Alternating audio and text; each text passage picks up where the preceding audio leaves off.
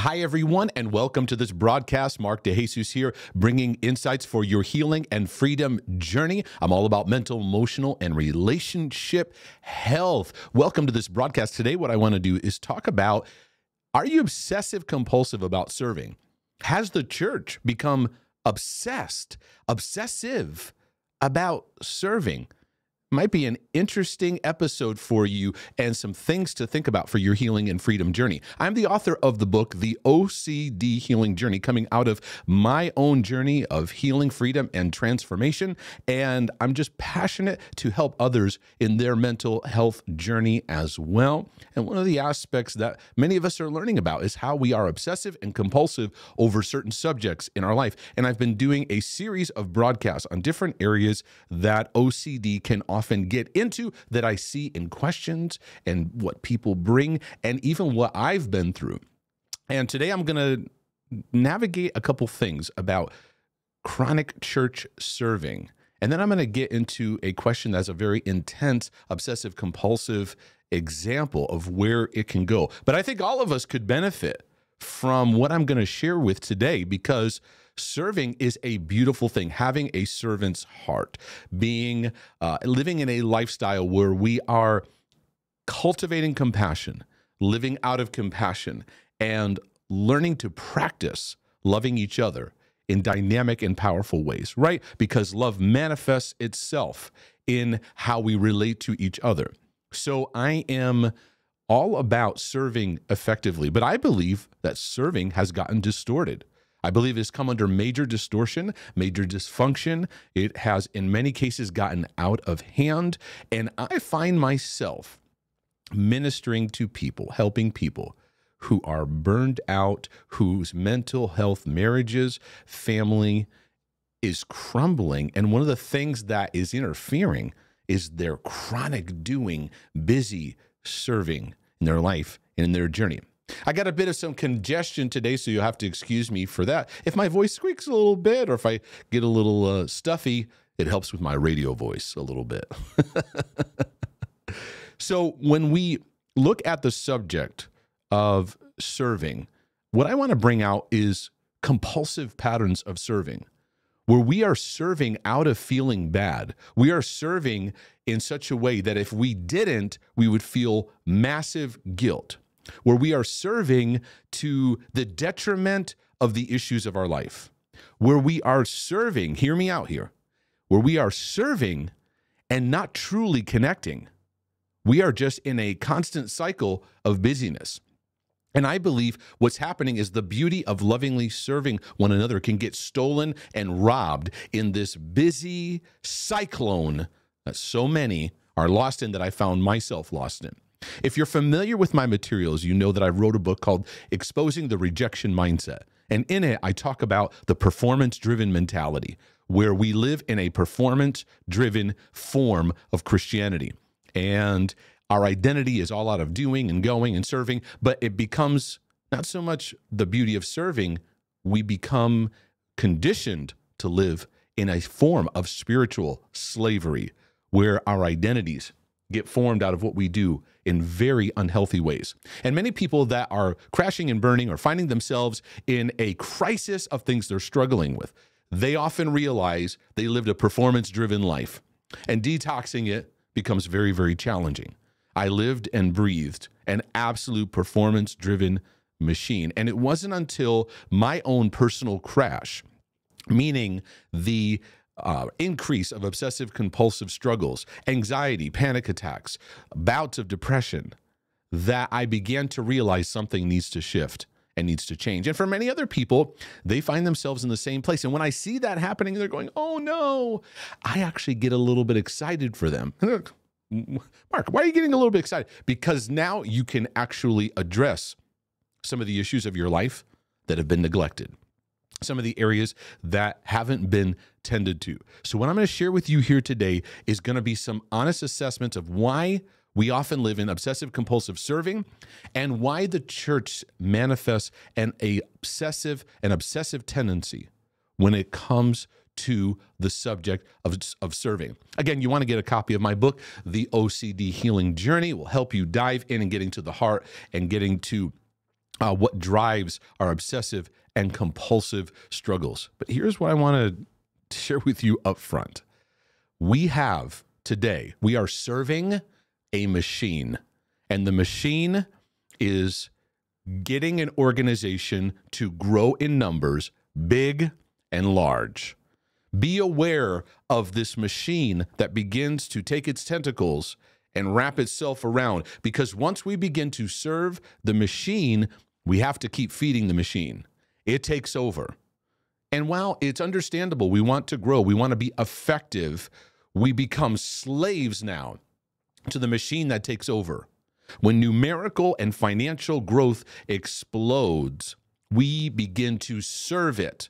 And so now we flow at a speed, an intensity, and a rate, a rhythm that no longer has the ability to make choices, to take breaks, to slow down. You can't because the machine takes over.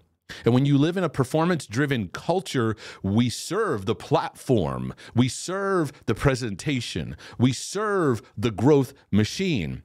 So pausing, stopping, breaking rarely ever happens in effective ways because when the machine takes over, the machine is in charge. And we live in a culture today, everything's got to be big, everything's got to be huge. So we lose the beauty of the small because the small is where the beauty of dynamic life transformation happens. And the small, if done well, is actually slower. It's got space. It's messy. It's not that easy. There's bumps, there's stuff, there's relationship things you have to work out. But when you slow, when you live in the slow, you have more ability to make decisions, to say no. When you live in the slow, you can evaluate more. Today's killer of people's hearts is constant activities, busyness, and I include in that chronic, continual, unending serving to the neglect of deeper relationships, to the neglect of our own hearts. Churches have taken service and turned it into a pressure filled, guilt ridden subject that can often, not always, but can often become manipulative. Because we have to serve the machine, and every pastor who serves this machine, everyone, there's no exemption from this. Every pastor who serves the performance driven machine is frustrated they don't have enough people helping because the rate of what's happening is in charge. And they're always mentioning, hey, if we had more people to help, we need more people to serve. So, in that crisis, I'm, I'm, giving you the honest answers without shame and condemnation. I'm just giving you the honest perspective of what happens.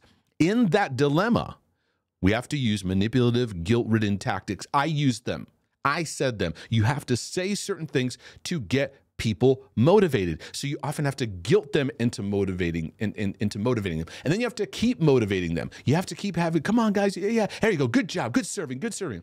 And so in becoming slaves to the machine, we don't have the ability to step back and say, hmm, should we even be doing this?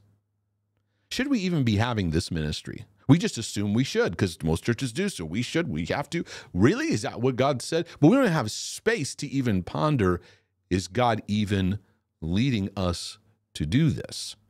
There's no room for that. The assumption is yes to everything. So we just keep going, keep going, keep going, keep going, keep going, keep going. Now, I'm going to get into some deeper parts of the weeds. These are honest places that we need to understand. And this feeds obsessive compulsive serving. So the big one is serving the machine. Uh, big, large. And what is seen because we also have a presentation, right? Where we have to, uh, you know, bring a certain, this is the image. It's like we have a PR campaign that we have to keep going, right? Even though there's deep struggles and things battling going on, we serve the PR campaign of what's presented there. And then until one day uh, there's a fallout, there's an adulterous affair, there's an addiction, there's this, there's um, uh, abuse being uh, revealed, and and and and we step back. And what we don't do, the church doesn't do, is we don't go, hey, the way that we're doing things is unhealthy. We go, oh, that pastor needs to resign, that person, terrible person, this and that. We don't take a step back and look, what, what kind of culture are we living in? What are we cultivating? What are we serving? It's easy to just kind of point at someone and, well, move on. And then we keep going, still continuing in the same kind of mindset. I want to tell you, too, the number two, and this is something I, when, when I soberly realized this, it hit me. It hit me. But in a way of empowerment, which actually led me to go a whole different course in my life and in my journey, is that many in the church primarily, mainly relate to each other through serving together. Now, is there great camaraderie, great interaction you can have with people while serving? Of course, yes. But that becomes the primary way that many believers relate to one another. And there's often this narrative that goes on that says, hey, if you're not serving, you're not really getting connected. That's a, a, word that's often used. So therefore, you are disconnected. And what does that mean? I'm disconnected from you. And for some, it leads to, then it means I'm disconnected from God. This can play some mind tricks because are we really connecting and serving? Or is serving an on ramp that potentially could go somewhere in deeper, but is that really happening? But here's what I find without the serving time, is the relationship still continuing to grow? It's like we have to serve. And if not, and many people find if they take a break or they make some margin, they find they no longer have the value they once had. And we don't want to look at people as commodities within the machine of what they can do and what they can help. Because churches can become obsessed with creating a bubble of how can we get people on board with our mission and serve this and make it happen and not looking at people and seeing their blueprint because many people in your church actually will not add direct value to your church mission. They may do something that adds value somewhere else, but we subconsciously go, well, they're doing something else. They're not about what I'm doing. You know, there's, there's all these things that go on. And many say, well, once I'm not serving, I no longer have connection. So it, it leads us to asking some questions that we need to start um, addressing. And here's a mindset that we need to be honest about. Many churches believe that getting people into serving will eventually lead to discipleship. I'm not saying it never happens, but I'm just saying that just getting someone into serving actually doesn't. I've seen a large percentage of people that would actually be very involved all the time. You never knew anything about their life. You never knew anything about what was going on. It was the busy buzz kept true deeper intimacy from happening. I reflect back on many of my years in pastoral work and I'm like, wow, I saw that person over and over and over again. I know nothing about them. I know nothing about them. And I didn't even think about slowing down myself and just getting to know that person's story.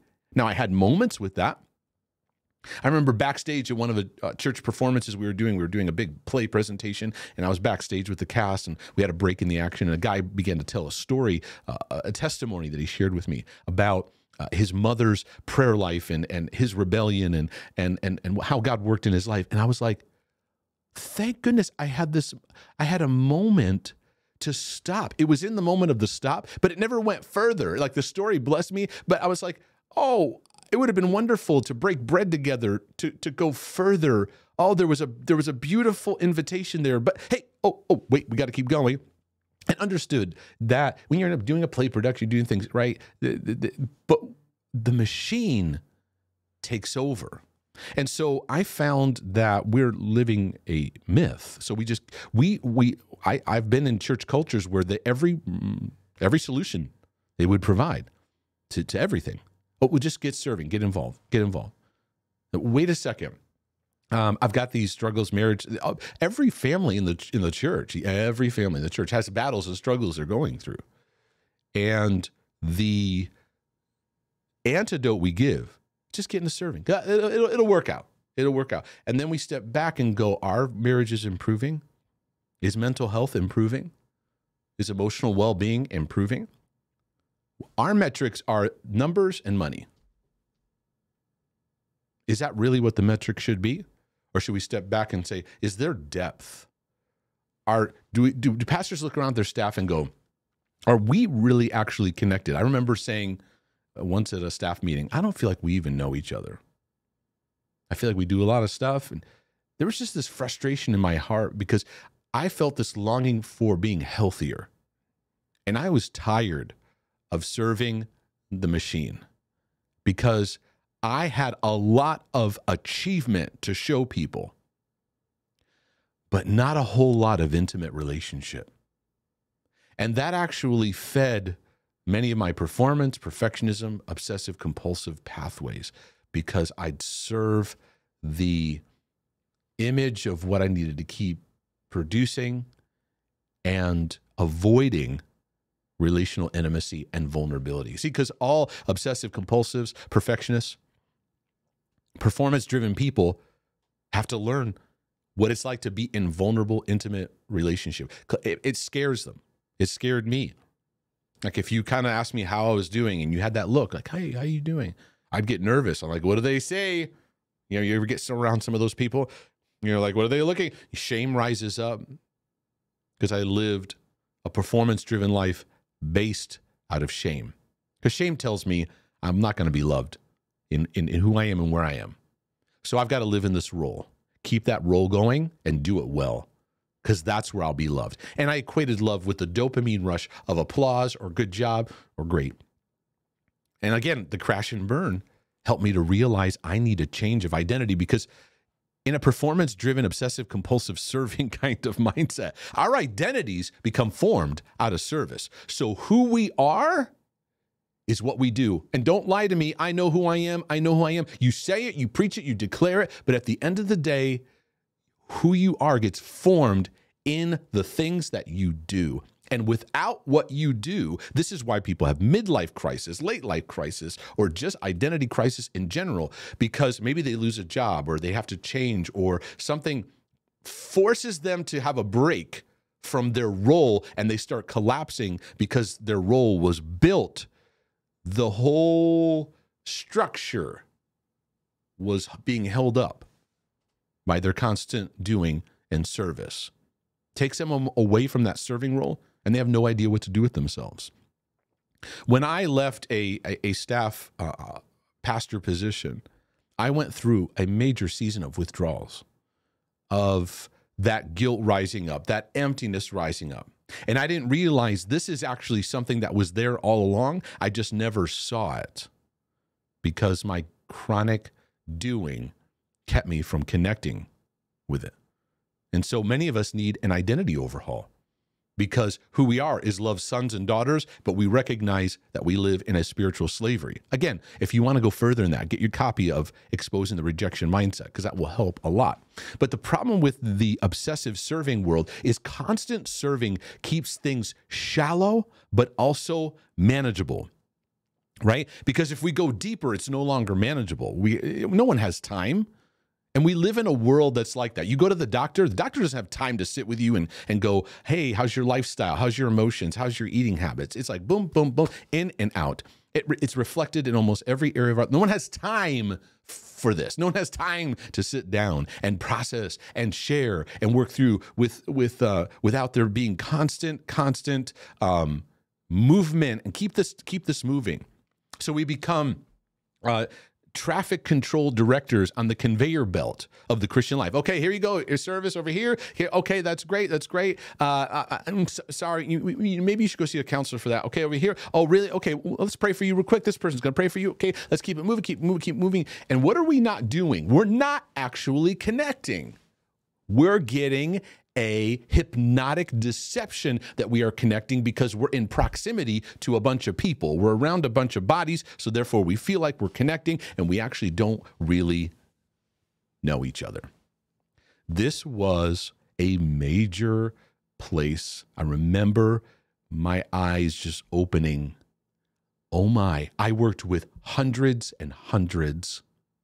Over the years of my life, I would even say thousands of volunteers and I realized so many of the people who served under my work, I didn't really know them. I mean, I knew their name, I knew that they were married or not married, and the basic stats.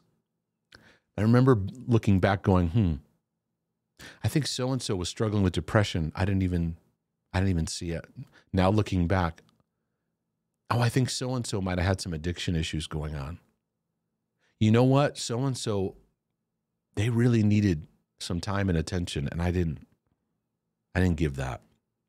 Because see, I would go from the sound booth and and I would just like a like a racehorse run to the front of the stage or go around the back of stage, whatever it is, always in a hurry, always busy. And I'd have this like busy energy. I and and if people came by to say hello, I was almost irritated that they were stopping me. Don't you know I have something to do? I had a bit of the Martha issue of getting irritated because I was distracted by the work and not realizing that what was of value was passing me by, was actually, and part of my healing journey caused me to slow down in where I walk in making room and space and time. We don't have time to do that. But it keeps it manageable, right? Show must go on. Keep this going, keep it happening because we're serving this, the mission. The mission becomes a machine that becomes a boss that just drives everything. So if you got problems going on, anybody got time for this? You got problems in your marriage, suck it up and keep going. You got problems in your mental health, suck it up and keep going. Now, I'm not saying we stop everything and we sit and uh, the answer to this is not an an opposite ditch. But this is just an honest realization. But in this chronic serving, obsessive serving mindset. It allows us to live in the buzz of busyness. You know what I'm talking about when I say a buzz? It's just like a busy noise that's going on, lots happening. And really, our buzz of busyness matches our level of anxiety. It's just honest. Very anxious people these days, a lot of anxiety, panic. So, what we do is we, anxiety makes a lot of noise, right? A lot of disturbance. So we go into the buzz of busyness to match it, to drown it out. Because getting quiet gets deafening. It's painful. Because when you get quiet or slow down or pause, then you start hearing the brokenness. Then you start feeling the things that haven't been, you know, tended to. And people say, hey, it's even a saying to, hey, got to stay busy, right? Got to stay busy. And for many, please understand, for many, even in my obsessive compulsive coaching work, I have to encourage them get your eyes off of staring at yourself introspectively, because that's not what this is about. And look up and let love flow out of your life and practice loving, right? But it is a flow of learning to receive God's love and flow out in relationship. So, what I'm encouraging is get in the flow of love and stop ignoring yourself and ignoring the brokenness of your life and two, when we serve, let it be meaningful. Let it be a different pace because God is calling us to love our neighbor. And we have gotten lost in just loving everyone that we can find. See, loving your neighbor is a little bit more challenging because neighbors can be frustrating. neighbors can be a little difficult. I even coach people who come to me and say, I'm having trouble with my neighbor. What do I do? of the one that's in need right around you, and we get lost in all these other things that we should just keep doing, keep doing, keep doing. So, meanwhile, we're ignoring our broken hearts, our insecurity, our self hatred, our shame. Shame fuels constant, chronic, busy living and doing. Shame because shame says you're not loved as you are. You're going to have to do something. Many people, in myself included, you feel disconnected from God or you feel some kind of sinfulness over something in your life. Rejection enters. And what does rejection tells you? Tell you? Oh, there's this separation between you and God. You got to fix this. And we then get into more busy serving to try to give an antidote. But it doesn't. We're still empty. And for many of us, we're realizing that serving can feed a false identity, our mask. And many of you are performers. The serving uh, feeds the performer in you, and people relate to the mask that you present. It hits that dopamine rush that we get out of feeling great. And, you know, you're such a great server. You have such a great servant's heart. Keep going, keep going, keep going, keep going. Uh, meanwhile, do we really know each other? Do we know how to pause? Are we actually connecting to life in God and how we relate to each other? And many re- recognize it when you're not in a serving position. guilt increases. And what I propose to you is a lot of what we do is driven out of guilt. We do it out of the message of, I feel bad. And Christians often equate guilt with a work of the Holy Spirit. The harder the guilt, the better. Oh, really hit me hard. We become conditioned to a self beating kind of compass in how we listen to God. But it keeps us in a performance driven, never ending, never enough, and it leads us away from the rest of God and into a striving recipe for burnout. Let me remind you with a passage of scripture that I think is important for us to be reminded of in this journey. And that is uh, found in, let me fix this here, in Luke's gospel, in Luke chapter 10, verse 38. Now it happened as they went that he entered a certain village, and a certain woman named Martha welcomed him into her house. And she had a sister called Mary, who also sat at Jesus' feet and heard his word. Now, what would you do if Jesus came to visit to your house? Many of us would be Martha's. We'd be, probably be nervous the whole time, right? She had a sister called Mary, who also sat at Jesus' feet and heard his word. But Martha was distracted. Do you hear the word? Do you hear the word? Distracted. Martha was distracted. Attention, Kmart shoppers. How many of you are distracted? Please come here over to aisle 77 for distracted compulsive serving detox. Thank you. Martha was distracted with much serving. Martha was distracted with much serving. In today's culture, we'd go, Martha, you're so wonderful. In today's culture, Jesus go, Martha, you're so awesome. Just keep staying busy over there. Yeah, yeah, don't even bother. Just keep going. Keep going. Oh, this is so good. So good. Oh, right. now she's distracted. Now, does this mean serving's bad? You know, this is where you, we always, you know, you have to be aware of how people go black and white from one extreme to another. No. It's, but distraction is getting in the way here. And she approached him and said, Lord, do you not care? So, distraction and what many of us in obsessive compulsive serving do is we we lose what's valuable. We lose sight of what's valuable. So our value, we made a value exchange. We're going to serve the machine of growth. But now we're not having effective, meaningful relationship connection because this is taken over. We get angry, we get upset that other people aren't in that mode. People at high performance, perfectionists, obsessors, they get irritated that other people are not spinning at their RPMs. And she, Lord, you don't care. So now she can now she's distorted in what she sees. She sees that Jesus doesn't care because there's a value clash here.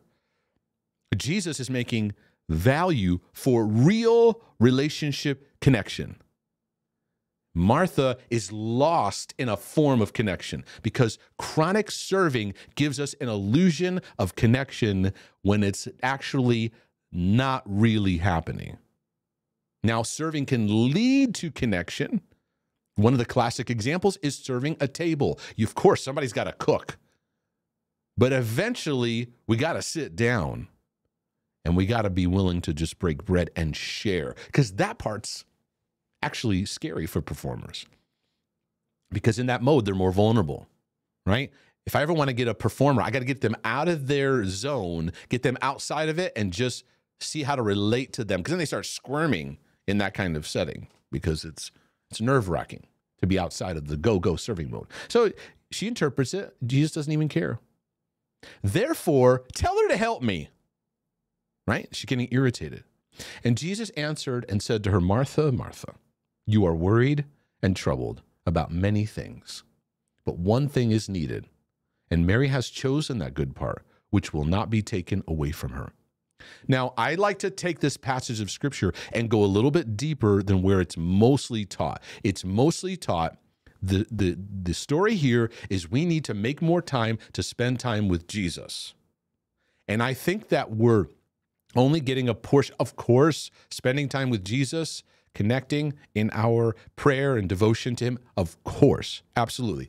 But this is actually bringing about, don't lose sight of relationship interaction at the mercy of chronic serving and busyness. I believe that's really what the heart is here because Mary is connecting, truly connecting with Christ as he walks this earth and he is there at her at her um at Martha's home. She's like I want to utilize this as a way to connect. And I think for many of us, we need to get back to the heart of those you interact with, of seeing this exhortation, of I need to make room for meaningful interaction. Because then that helps my interaction with God, and my interaction with God helps me to have meaningful interaction, and my meaningful interaction helps me have, right? We learn the love of God, how we relate to each other, and uh, how we relate to each other flows out of how we relate to God, how we relate to ourselves. And so I pray that for many of you today, you will take the exhortation and begin to realize, okay, am I am I serving this kind of system in my life in my journey? And do I need to pause and go, where do I need to get grounded in this? I'll take a moment to address a question that came in because it um, it reveals where this can get very obsessive compulsive in the sense of chronic serving and having to do things. I will um, pull this up here. I have a question about helping people obsessively. Recent I've recently I've had a struggle where I go out into town, I see a homeless person asking for help, and I get this overwhelming urge to go out and give money to them. So see this the description shows the obsessive compulsive. Now, what I'm going to share with you is an intense example, but many of you are somewhere in the spectrum where you can relate to this to some extent. You may not have it at this exact level, or maybe you have it even more intensely. This overwhelming urge, there's the guilt, there's the disturbance of instead of doing something out of compassion, which because of our lack of being nurtured in love, and being equipped in love, we confuse love with guilt. We confuse love with being, I, I, I got to do something about this disturbance I feel. I um so you get this overwhelming urge to go out and give money to them. Even if I don't have money, I feel the urge to go to the bank and withdraw money to give to them. I recognize that there is a lot of fear around this subject. So I try to use what I've learned in the past by re- redirecting to rest in God's love and praying for discernment from the Holy Spirit and at times trying to drive past them to continue on with my day in starving compulsion. You know what I find a lot in these situations is people that feed that, they are actually neglecting their neighbor or, or those around them, and they feed the compulsive need to to to serve these other situations because driving by someone who um, uh, you, you know uh, when they they see a homeless person driving by a homeless person, you don't know them. So serving them, listen to me, serving them is easier because you don't know them. It's harder to find a way to love your friend or your spouse when you're having struggles or someone you're in proximity to. That's harder work. So to serve them in that way and serving your family doesn't get a lot of accolades. Giving to a homeless person could get you an Instagram picture and can get you something that you can um, you can shout it out to others and show, you know, hashtag serving. right? I'm just being honest here. You, you work in a large church, you serve all these people. You don't know many of them, they don't know you. That's easier. Mm. Now I'm getting into the weeds. Jerry Seinfeld makes a great joke he talks about his relational awkwardness. And he says to the audience, he says, I am comfortable talking to all of you, but I'm completely uncomfortable talking to any of you.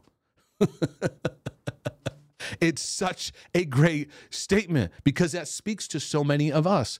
It is easy to serve people we don't know. And I'm not saying don't do it. I'm just saying it's it's honest assessment. We it's harder to love those people near you because they're their strongholds and sins and goofiness bumps up against you. and challenges you in your journey. So oh, let's avoid that. That's why many times many people avoided their marriage, but they more they sure involved in ministry. Oh, what a servant's heart. You know, we applaud, it, right? And we we got lost in priority. So anyway, I'll get back to I'll get back to the question here. In trying to starve this compulsion, however, I feel a tremendous amount of guilt. Many of us are in a journey of detoxing our relationship with toxic guilt and serving that because guilt is the message of I feel bad. And secondly, guilt is not about others, it's about you. It's about alleviating something you feel versus out of love making it about somebody else. You notice the difference there? So we're doing things just to make ourselves feel better. God would, uh, so she says, as I see him, I pray God would help them and my brothers and sisters on the street in this season to clothe, feed, and nourish them. But I'm constantly reminded of how James 2.15 describes a brother or sister lacking food and clothing. See, there's a difference. A brother or sister, someone close to you, you see has a need and you have the ability to help them. That's what James is talking about. The homeless person down the street, you don't know that person. I'm not saying don't give to a homeless person you don't know. if, if you're if that's what you're getting, you're missing the heart of what I'm saying. In, in James 2 7, 15 to 17 describes a brother or sister lacking food and clothing, and the person who could help, saying to the brother or sister to be fed and clothed, but not helping, that their faith has no profit. Exactly. That a brother or sister, this is now, we're talking about proximity. This is talking about neighbor. This is talking about um, someone you have the ability to help, and it's right there, and you say no. He say, "Oh, hope, hope it works out." I've actually had this happen in my life. I've been in great need, and share it, and people go, "Oh, I hope it works out." Yeah, no judgment against them, but it's like. I'm, he's talking about an issue of someone has the ability to help, and again, it's someone who is close to you. This is brother or sister level. And you're not stepping up and helping. So you can see where this gets distorted for the person writing this question. This caused a great deal of fear in starving my compulsions by driving by and not helping. So your assignment is going to be drive by and don't help and find ways to be a blessing to those around you because this um, will this will lead to compulsive behavior over and over and over again. I think I might be one of the first pastors online to say um, I, your assignment is to not help that person. uh, I usually pray that God would give me discernment about what he would have me to do, but I'm always directed to scriptures like 1 John 3:17, which says help those who have earthly possession and sees his brother in need. Again, brother. Brother, we need to recognize opportunity to brother, right? Now, there's a story of the um, um, where Jesus taught when they said, "Who's my neighbor?" and Jesus talked about you walking by. What was the common thread when people who walked by the person that was in need? They were busy. They were busy serving. they were busy doing their jobs. I don't got time for this. They were in their chronic church serving and didn't recognize, hey, I got to pause to someone that, that truly has need here. Right? So, but this person is bringing out the guilt and compulsive perspective that doesn't allow the scriptures to to to be put in perspective. And how does the love of God dwell? Okay, but and oh, and the judgment revelation where Jesus casts out the goat, saying, "I was naked and you did not clothe me; I was hungry, you did not feed me," and talking about helping others. This also causes a great deal of guilt and confusion within me because I want to help my brothers and sisters on the street, and I'm grateful that God has blessed me with so much but am driven by guilt and fear to do so. Yeah, and that's this I'm in the business of helping people to shift from living a fear and guilt-based lifestyle into a love, rest, flow with walking by the Holy Spirit. And that's going to be learning the new language of the fruit of the Spirit versus being driven by all the toxic stuff that we feel compelled to listen to. And it makes us very compulsive in how we relate to people. I recognize that God has not given us, me a spirit of fear. Perfect love casts out fear, and I'm still learning and growing, but I have trouble reconciling this fear and the scriptures. How would one go about this situation? And I, I think that one of the things is learning how to differentiate between compassion versus guilt. Compassion lets you look outward in a flow of God's love for them, and it leads to helpful things. Um, there are times where you go, hmm, I think I did that out of guilt. It's all right. You're practicing and you're learning. Guilt is all about I feel bad. It's about you alleviating those bad feelings. So now we're losing losing sight. There's a great exhortation in Second Corinthians 9 in verse 7. The NIV gives an interesting translation where it talks about uh, don't give out of out of compulsion. Give as you have decided in your heart, not reluctantly or under compulsion. And one with OCD is going, oh, I should probably, I don't know, the sheep and the goats. I better do. And you're actually being commanded, don't give that way. How many of us, even in offerings, you know, you're, oh, I better give or else God's going to curse me. Mm, Get this thing if I don't give to the, just disturbance. He says, don't do that, for God loves a cheerful giver. You ever, all of us have had the moment where you just cheerfully gave and it was just a blessing to do that. You have those. We have to remember those moments because then we equate these disturbance moments. Compassion is about helping your brother, sister, your neighbor out of that place of just love, not disturbance. Guilt is all about disturbance and it finds ways to create disturbance. That just right, never enough comes in and it's like, oh, what about people in other countries? What about starving people in other countries? Look at you and all you, right? It, it becomes an accusatory thing. And so many people give, serve, do out of guilt. This is kind of a different tangent, but I remember speaking of offerings, I re, I, have told this story before, but I remember as a youth pastor, I was in a, um, a large service gathering where they're trying to raise funds for missions, and they just kept pouring it on and pouring it on and pouring it on. And it was very clear they're just using constant guilt manipulative tactics. And even the teenagers in uh, our youth group were like, oh, this is this is getting to be a bit much. I looked over and one of our teens down the aisle, as the bucket was being passed, she's crying. And it wasn't a good cry. And I was like, what's going on? And she had taken some money that was for her and for her family. And she had felt disturbed and she felt she had to give it all and put it in the bucket. And um, I I did something that I don't know, maybe maybe other people wouldn't do this. I went back and grabbed the offering bucket. I took the money. I go, is this it right here? Yeah, okay. No, don't want any funny business. I gave her money back. You're not giving. Move on. Because I'm just a guilt fighter. We're not going to.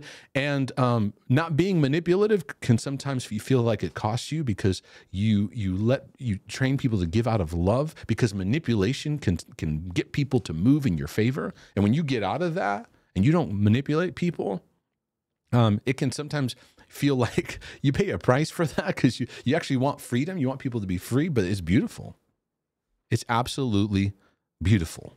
So many of you, uh, I believe, are going to be blessed by this broadcast. If you were, would you click the like button, like the light bucket, the light button, the light like button there we go.